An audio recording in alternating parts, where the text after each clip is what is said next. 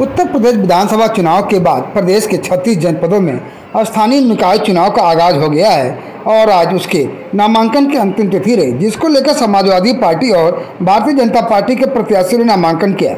इस दौरान भाजपा के प्रत्याशी विशाल सिंह चंचल ने इस चुनाव में अपने को अभिमन्यु की भूमिका में नहीं, बल्कि अर्जुन की भूमिका में होना बताया। इस दौरान मीडिया से बातचीत करते हुए उन्होंने कहा कि तीन सेटों में नामांकन किया है और इसके लिए मुख्यमंत्री योगी आदित्यनाथ को धन्यवाद देता हूँ। साथ ही भाजपा अध्यक्ष स्वतंत्र देव सिंह को भी धन्यवाद देता हूँ। उन्होंने भाजपा से मुझे प्रत्याशी बनाया है। जिस तरह से पिछले चुनाव में निर्दल चुनाव जीत कर आया था, इस बार देश की सबसे बड़ी पार्टी के सिंबल पर चुनाव लड़ रहा हूँ और उम्मीद करता हूँ कि सबसे अधिक मार्जिन से चुनाव जीत कर जाऊँगा।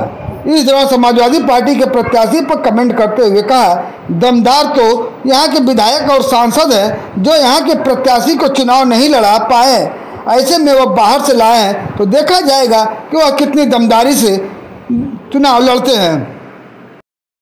इस दौरान विशाल सिंह चंचल ने, जहाँ अपने को अर्जुन की भूमिका में बतलाया तो वहीं कृष्ण की भूमिका में डॉक्टर विजय यादव को भी बताया। है, और मैं भारतीय जनता पार्टी को धन्यवाद देता हूँ आदरणीय योगी जी को, उत्तर प्रदेश के हम लोगों के अध्यक्ष आदरणीय स्वतंत्र देव जी को कि उन्होंने मुझे भारतीय जनता पार्टी से प्रत्याशी बनाया और जिस तरह मैं निर्दल जीत के आया था गाजीपुर में, गाजीपुर के सभी जनप्रतिनिधियों ने सम्मान देने का काम किया था।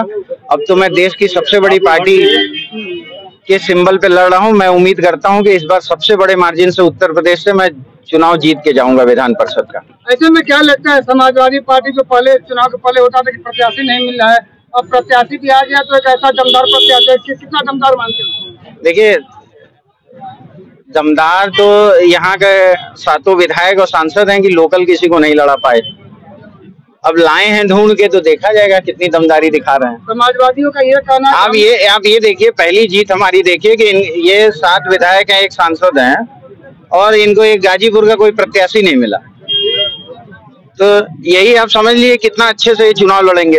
अब लेके आए हैं वो लड़ेंगे क्या करेंगे तो समय वक्त बताएगा। समाजवादियों का यह कहना है कि अभिमन्यु की तरह जो चक- बनाए देखिए मैं कभी नहीं मैं कभी अभिमन्यु के रोल में रहा ही नहीं। मैं अर्जुन के रोल में रहा और कृष्ण भगवान का साक्षात आशीर्वाद है। योगी आदित्यनाथ जी की लोकप्रिय सरकार में सबसे ज़्यादा वोटों से मैं गाजीपुर से जीत के गाजीपुर के जो विकास की एक धारा है उसको फिर से बढ़ाने का काम करूँगा। क्या योगी आदित्यनाथ को किसी की भूमिका मानते हैं?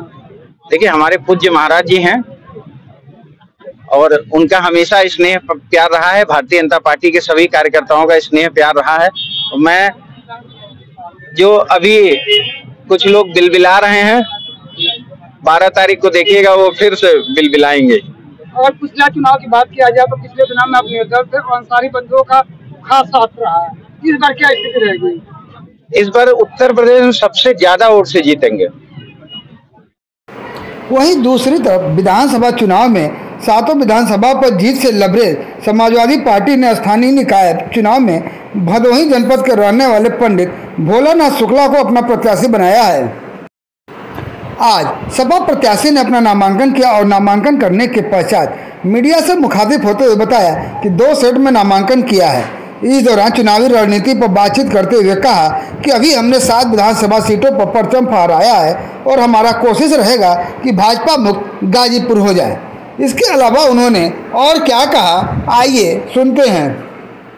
हमने दो सेट में नामांकन दाखिल किया है और रणनीति तो हमारी पार्टी बनाती है हमारा इतना बड़ा संगठन है। अभी हम लोग रणनीति से ही तो गाजीपुर को सातों विधानसभा में परचम फहराए हैं और हमारी कोशिश रहेगी कि ये भाजपा मुक्त गाजीपुर हो जाए। भाजपा मुक्त गाजीपुर की बात कर रहे हैं लेकिन जो अन्य पार्टियों मतलब भाजपा का ये कहना है कि समाजवादी पार्टी के पास जनपद में अपना कोई नेता नहीं है, इसलिए बाहरियों को लाए इस पर क्या कहेंगे? इस पे ऐसा कैसे आप मान सकते हैं? समाजवादी पार्टी के हमारे एक एक धुरंधर नेता है एक एक आदरणीय सातों लोग को जनता ने विधायक बनाया है तो बिना नेता माने हुए विधायक बनाया है। ये तो भारतीय जनता पार्टी कहने के लिए, आरोप प्रत्यारोप के लिए तो ये कहा जाए कि हमारे उत्तर प्रदेश में कोई नेता नहीं था भाजपा में, इसलिए मुख्यमंत्री को उत्तराखंड से बुलाया गया, प्रधानमंत्री को गुजरात से बुलाया गया, ये कोई बात नहीं है। देश एक है, हम मानते हैं कि एक नेशन है, और हम तो बगल के ज़िले के हैं पूरा भारत में हमको कहीं भी चुनाव लड़ने की आज़ादी है। कश्मीर में भी अब हम लोग चुनाव लड़ सकते हैं। ये तो गाजीपुर है। तो ऐसे में क्या माना जाए आपके सातों जो विधायक हैं जी। चक्रव्यूह की रचना करेंगे और आप अभी अभी नहीं नहीं अभिमन्यु नहीं हमारे सातों विधायक और हमारे साथी चुने हुए प्रतिनिधि हम लोग बहुत आराम से बहुत पूर्ण बहुमत के साथ भारी बहुमत के साथ में अपने आप चुनाव जीत रहे हैं क्योंकि जनता जिता रही है। जनता जिता रही है।